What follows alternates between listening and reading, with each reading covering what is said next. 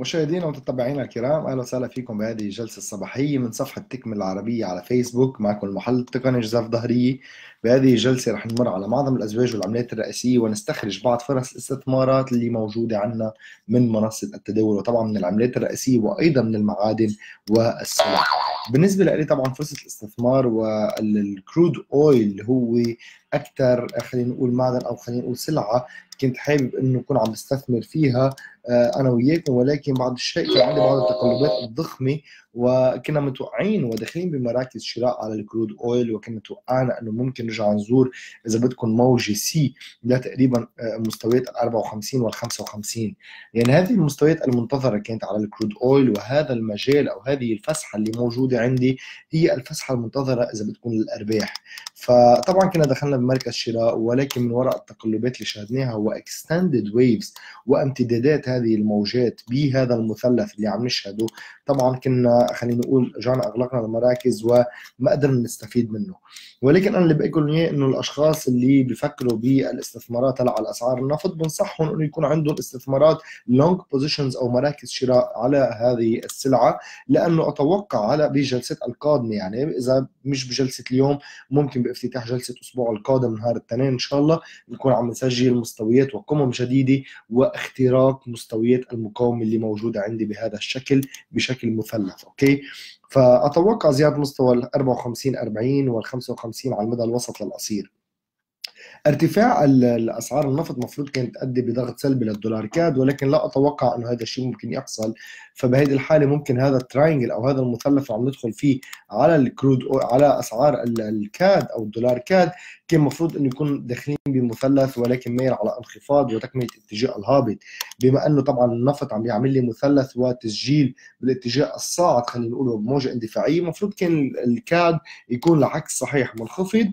رجعنا دخلنا ب خلينا نقول آه، موجة آه، آه، يعني خلينا نقول مرحلة أفقية بشكل مثلث والاختراق بشكل معاكس. ولكن عم نشهد علاقة إيجابية بين أسعار النفط lately وأسعار الدولار. CAD وهذا الشيء طبعا غريب وما ممكن نشهده غير بشهر ديسمبر.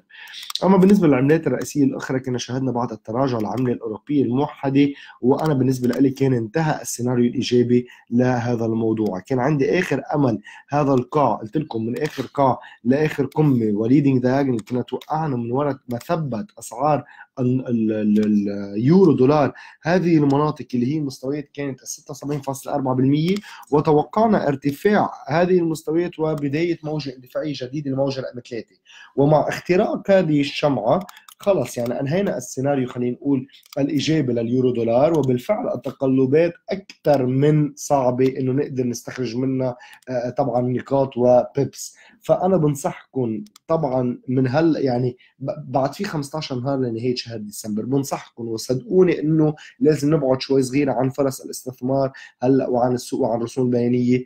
عندي سوق كثير عم بيكون خطر عندي تقلبات ضخمة عندي إشارات شراء عم تنكسر بشموع بيع وعندي إشارات بيع عم تنكسر بشموع يعني شراء. فبهيدي الحالة ما ممكن تقدروا تستخرجوا فرص استثمار غير ما تكون فرص استثمار بسيطة جدا أكثر من 10 أو 15 بيب ما فيكم تسحبوا من السوق بهذا الشهر. فأنا بنصحكم ولو ربحتوا مركز أو اثنين ممكن تخسروا ثلاثة وأربعة وخمسة وستة. بنصحكم تضلكم على يمين السوق. نتكلم شوية اقتصاد ولكن التحاليل التقنية ليست موجودة للأسف بشهر ديسمبر. كنت عم بقرأ مقال وطبعا كنا هيك عم نتداول الحديث أنا و يعني صديق لإلي أيضا بالتحاليل التقنية وهو عنده خبرة أكثر من 15 سنة. يعني طبعا أنا كنت بتعلم منه التحاليل التقنية فكان عم بيقول لي إنه عم بيقرأ بعض المقالات اللي لأحد الأشخاص الضخمين بالسوق الفوركس والمشهورين اللي هن طبعا آه، بيتداولوا وطبعا أجانب يعني وعندهم hedge funds ضخمين. عم نتكلم مثل الأسامي الكبار مثل جورج سوروس وورن بافيت وإلى آخره. عم يتكلم وعم بيقرا آه، إذا بدكم هذا المقال وهذا المقال بيقول إنه السوق وال psychological behavior ونفسية السوق أصبحت صعبة جدا وما عم يقدر يستخرج فرص استثمار على المدى الوسط للطويل ما حدا عم بيقدر يقرا السوق أكثر من خلينا نقول يعني شمعة أو شمعتين لقدام. نحن قبل كنا نعمل سيناريوهات مفترضة ونحدد على أنه طبعا عندي على سبيل المثال انفرس هيد شولدرز نمط رأس والكتفين أتوقع زيارة هذه المستويات ارتداد منها اختراء إلى آخره. كنا نقدر نتوقع سيناريوهات ممكن تكون موجودة عندي على المدى خلينا نقول الوسط أقله مش رح أتكلم على المدى الطويل. ولكن هلأ بتلاحظ إنه ممكن ناخذ إشارة من السوق ولكن هذه الإشارة على رسم مبين الساعة. نقدر نحدد شمعة أو اثنين ارتفاع خلينا نقول. ومن ثم إشارة انعكاسية بترجع بتجي وبتغير أو بتخلبط أو بتخربط هذا التحاليل اللي قمنا فيه. فبكل بساطة لا يمكن تحديد سيكولوجية التداول اللي عم نشهدها على سوق الفوركس غير ما نقدر نغير طريقة التداول واستراتيجية التداول اللي عم نتبعها. يعني أنا بوعدكم إنه ب 2019 ومع بداية السنة الجديده طبعا رح يكون عم نبش على استراتيجيات تداول أخرى. يعني هلأ كنتوا عم بتشوفوا نفس استراتيجية التداول عم بتبعها تقريبا من شهرين أو ثلاثة لورا. ولكن هلأ مع افتتاح السنة الجديدة طبعا نحن مجبورين وملزمين إنه نغير استراتيجية التداول تبعنا إنه نتأقلم مع السوق إنه نتأقلم مع الرسوم البيانية مع التقلبات نقدر نعدل بعض المؤشرات بعض خلينا نقول ال indicators الموجودة عندي على منصة التداول ال Bollinger Bands Parabolic S لازم نعدل الأرقام نشوف شو اللي بلائم وبناسب أكثر هذه التقلبات الضخمه خليني نشوف أنا حشريا حابب أدخل شوي وأشوف آه، مؤشر ال VIX أو ال volatility index هلأ في هذا الشهر في شهر ديسمبر وين بيكون تقريبا بالضبط؟ إذا ندخل على ال futures بنشوف ال VIX.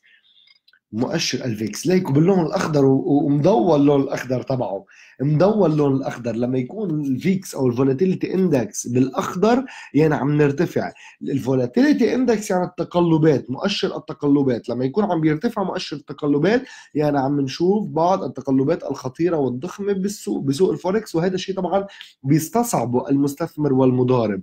فكل ما يكون ال volatility index مرتفع كل ما تكون التداول خطر جدا. وكل ما يكون راكد إذا بدكم بهذا الشكل وبمرحلة أفقية مايله على انخفاض بتكون الأمور أفضل. وعم نقدر نحدد الاتجاهات العامة بالسوق أو بأسواق المال.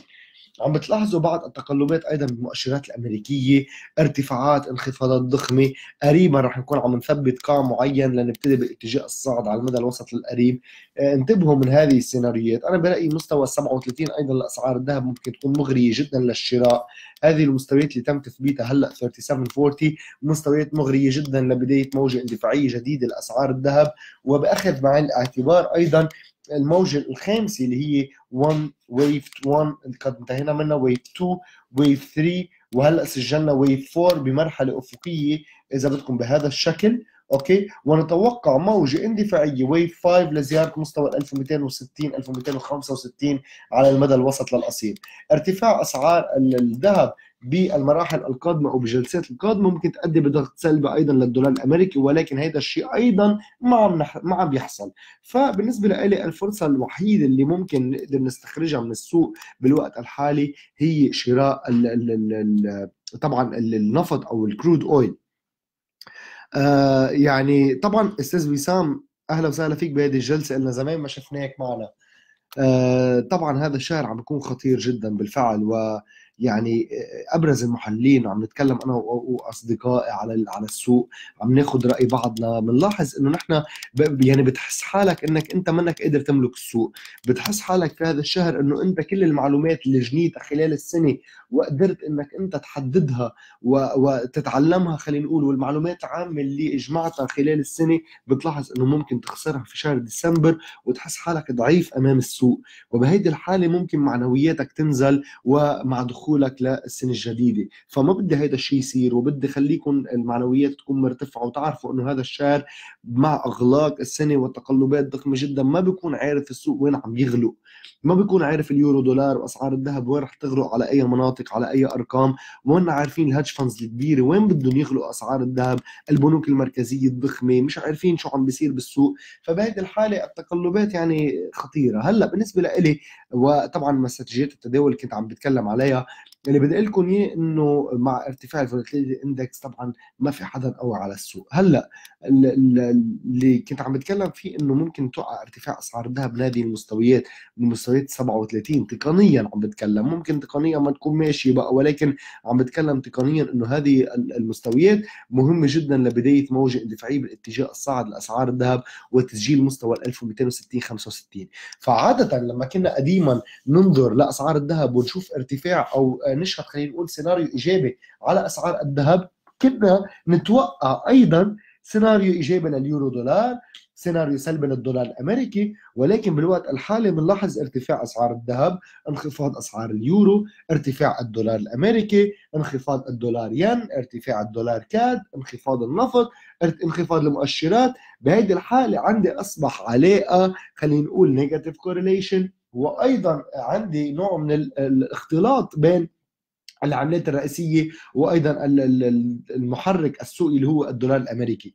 فبهذه الحالة ما فيك تكون أنت داخل بمركز شراء للذهب وتكون على سبيل المثال داخل مركز شراء لليورو. ممكن بكل بساطة تاخذ إشارة سلبية على اليورو تدخل بمركز بيع على اليورو ومركز شراء على الذهب. ما في إذا بدكم قانون هلأ بالوقت الحالي وخاصة بشهر ديسمبر على إنه ممكن يكون عندي بعض إذا بدكم التحركات يعني المتساوي إذا بدكم أو خلينا نقول اللي بيمشوا سويا العملات الرئيسيه أو ال pairs أو ال exotic pairs.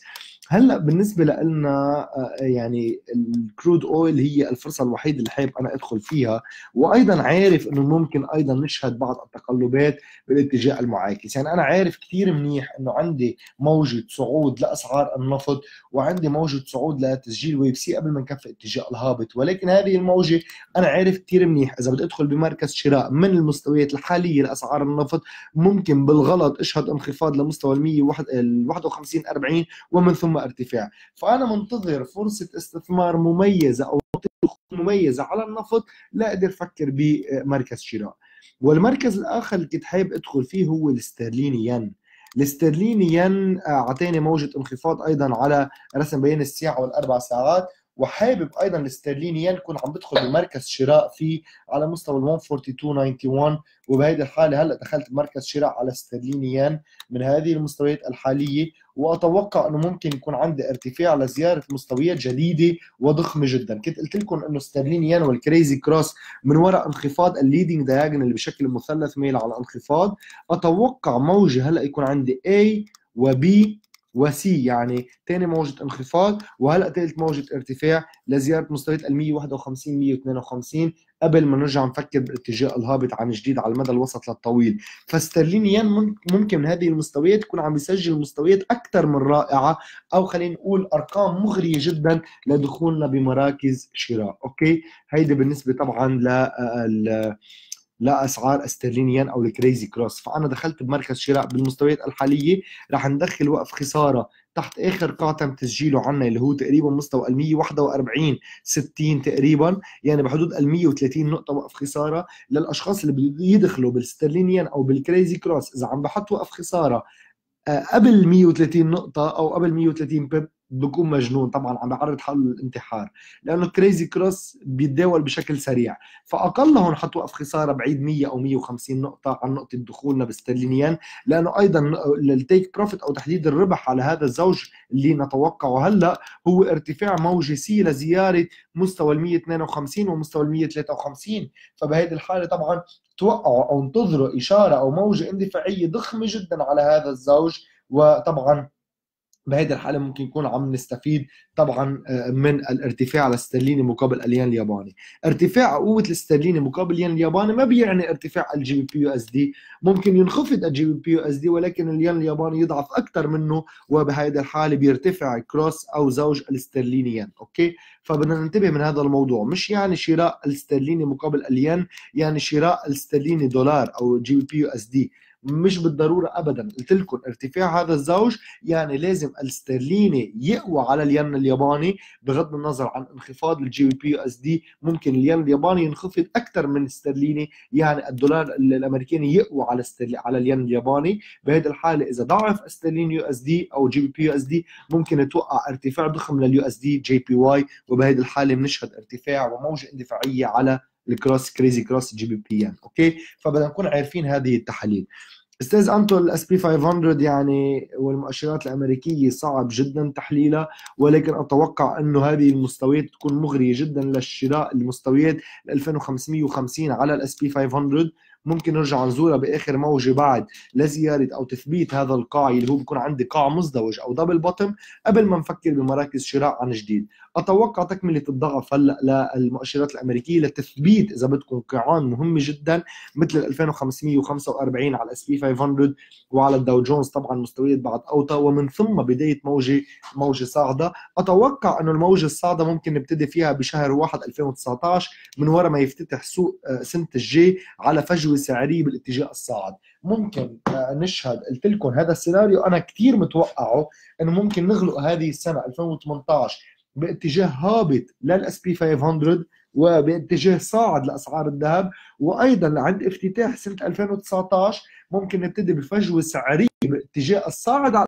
ال S&P 500 وباتجاه هابط على أسعار الذهب وبشكل معاكس طبعا. okay؟ فهيدي آه، بالنسبة لنا على ال S&P 500 وعلى أسعار الذهب. أنا بتشكر وجودكم ودعمكم لي بهذه الجلسة.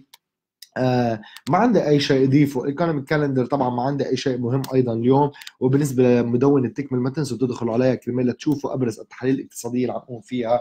وأيضا تعملوا like و share لهذا الفيديو الصباحي من شركة Tickmill مباشرة كان معكم المحلل التقني جوزيف ضاهرية. بشوفكم باسبوع القادم إن شاء الله. إلى اللقاء.